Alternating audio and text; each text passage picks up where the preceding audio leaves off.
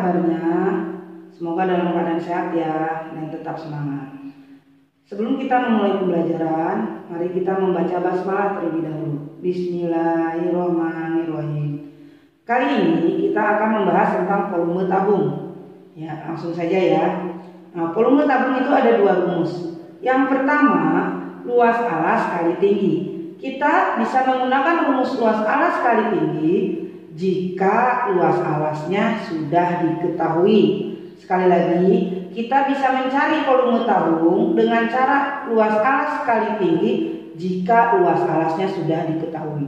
Contoh, sebuah tabung memiliki luas alas 350 cm persegi dan tinggi 10 cm. Berapa volumenya? Kita langsung masukkan rumus saja. Jawab, kita jawab kalau masukkan rumus. Volume kita singkat V. Luas alas kali tinggi. Nah, kenapa menggunakan rumus luas alas kali tinggi? Kita lihat soalnya. Karena di soal luas alas sudah diketahui, maka kita bisa menggunakan mencari volume tabung luas alas kali tinggi. Sekali lagi karena luas alasnya sudah diketahui. Nah, kita masukkan saja langsung. Di soal luas alasnya berapa? 350 cm per segi. Maka kita tulis 350 cm per segi dikali tingginya berapa? 10 cm. Kita tulis di sini 10 cm.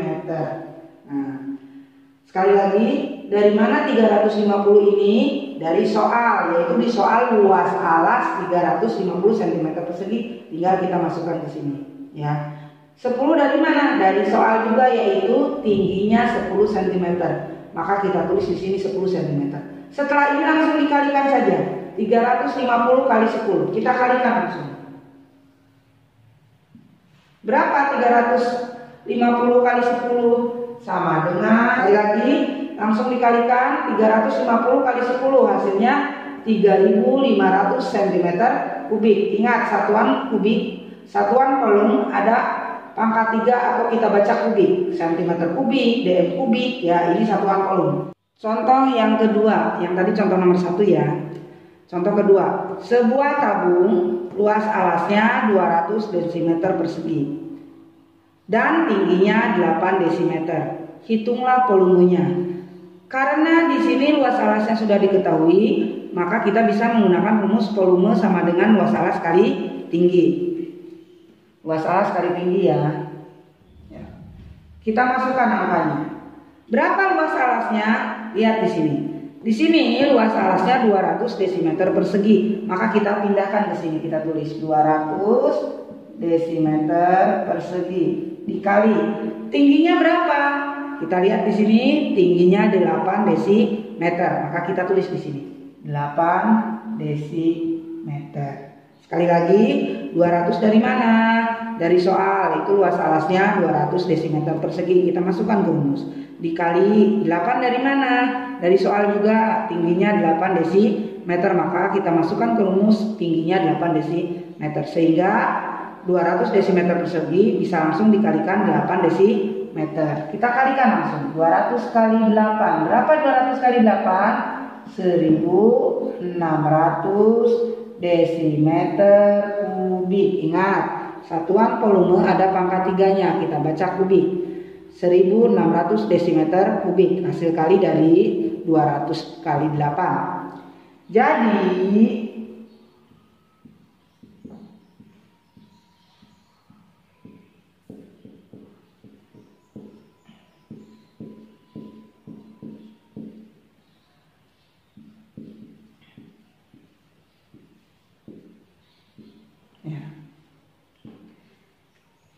Jadi volumenya adalah 1600 desimeter kubik.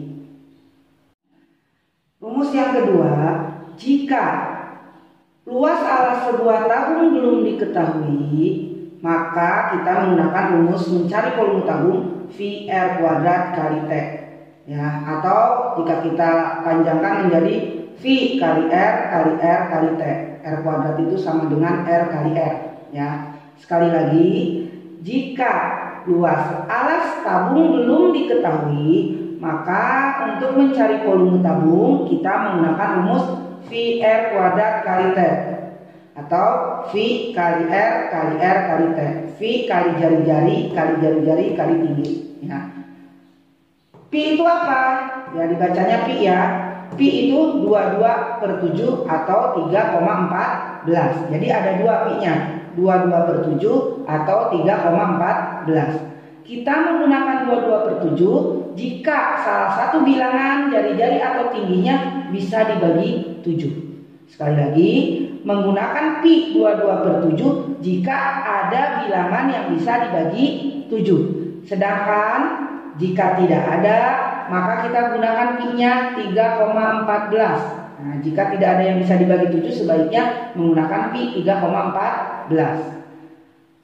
R, R itu jari, jari. Ini yang disebut jari-jari ya. Garis tengah lingkaran diparok. Separohnya dari garis tengah alas atau tutup tabung yang berbentuk lingkaran. Ini yang disebut jari, jari separohnya. Sedangkan T tinggi tabung ini, tinggi tabung ya, ini tinggi tabung. Nah, contoh di sini ada soal, ada sebuah gambar tabung di soal R atau jari-jarinya 7 cm, T-nya tingginya 9 cm.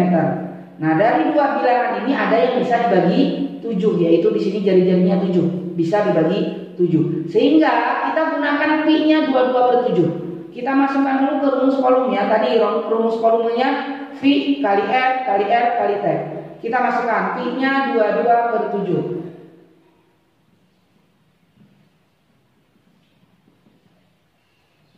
Ya. Pi 22 per 7. Dari mana 22 per 7? Pi ya. Kenapa menggunakan 22 per 7? Karena salah satu bilangan ada yang bisa dibagi 7 ya. Kemudian dikali R. R itu R kali R itu jari-jari. Nah, digambar jari-jarinya adalah 7 cm. Sehingga kita masukkan angkanya menjadi 7 cm dikali 7 cm dikali hmm, nah, sekali lagi R kali R. Karena jari-jarinya 7 maka di sini ditulis 7 cm kali 7 cm. Kemudian dikali tinggi dikali T. Berapa tingginya di sini? 9 cm maka di sini ditulis kali 9 cm. Ya. Nah, dari mana tadi 9 cm itu tinggi tabung? Di soal tingginya 9 cm sehingga kita masukkan. Sekali lagi, 22 per 7 dari mana? Pi ya, pi 22 per 7. Kenapa menggunakan 22 per 7? Karena salah satu bilangannya ada yang bisa dibagi 7. R kali R. Nah, R-nya 7 cm maka kita masukkan di rumus 7 cm kali 7 cm kali T tinggi tabung tingginya 9 cm maka kita masukkan di sini kali 9 cm. Setelah ini untuk menghitungnya bisa dengan mengalihkan semua yang atas baru dibagi 7. Misalnya 22 kali 7 kali 7 kali 9. Sekali lagi kalikan dulu semua yang di atas 22 kali 7 kali 7 kali 9. Hasil kalinya baru dibagi 7. Hasil kali dari 22 kali 7 kali 7 kali 9 baru dibagi 7. Tetapi untuk mempermudah menghitung supaya pembagian tidak terlalu besar, ya sekali lagi, untuk mempermudah menghitung supaya pembagian tidak terlalu besar, maka kita lihat bilangan yang bisa dibagi 7. Di sini 7 bisa dibagi 7. Maka kita bagi dulu, jangan dulu dikalikan supaya mempermudah pembagiannya. 7 dibagi 7. Kita coret karena mau dibagi kita coret. Coret, coret. Kenapa dicoret sebagai tanda bahwa ini yang dibagi, ya, ini yang sudah dibagi. Sekali lagi, 7 dibagi 7 kita masing-masing coret. 7 yang ini dan 7 yang di bawah kita coret. 7 bagi 7 hasilnya berapa? 1. Kita tulis di sini. 1, ya. 1 dari mana? 7 dibagi 7, hasilnya 1. 7 yang bawah hilang, ya. Setelah ini langsung dikalikan. 22 kali 1 kali 7 kali 9 Tidak tidak kali 7 lagi ya karena sudah dicoret, sudah dibagi ya. Sekali lagi 22 kali 1 kali 7 kali 9. Hasilnya sama dengan 1386 cm kubik ya. Sekali lagi, hasil kali dari 22 kali 1 kali 7 kali 9 adalah 1386 cm kubik. Ingat pangkat 3 kubik satuan volume ya. Jadi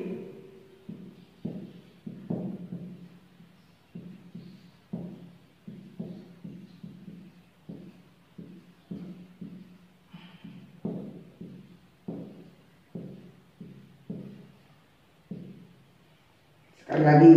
Jadi volume tabung 1386 cm kubik. Contoh selanjutnya. Sebuah tabung jari-jarinya 8 cm dan tingginya 14 cm.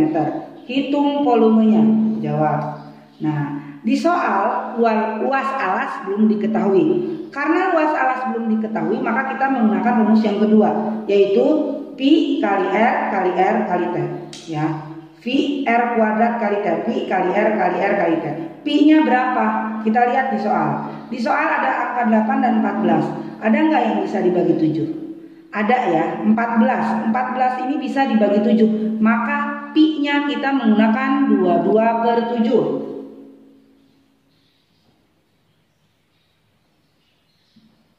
Ya, kita gunakan 22 per 7 karena ada yang bisa dibagi 7 yaitu 14. R kali R. R itu jari-jari. Jari-jarinya berapa? Lihat di soal jari-jarinya atau R-nya 8 cm. Maka kita tulis 8 kali 8 kali 8. 8 cm kali 8 cm kali tinggi. Tingginya berapa? Lihat lagi di soal, tingginya 14 cm. Kita masukkan ke sini kali 14 cm 14 cm Nah sehingga didapat setelah dimasukkan angkanya menjadi seperti ini. Pi 22 per 7 karena ada yang bisa dibagi 7 maka menggunakan 22 per 7 ya. Dikali R kali R R nya dua kali R kali R kali R. Ya sehingga menjadi kali 8 kali 8 karena di sini jari-jarinya 8 kali T T nya 14 cm Caranya yang atas bisa dikalikan dulu semua.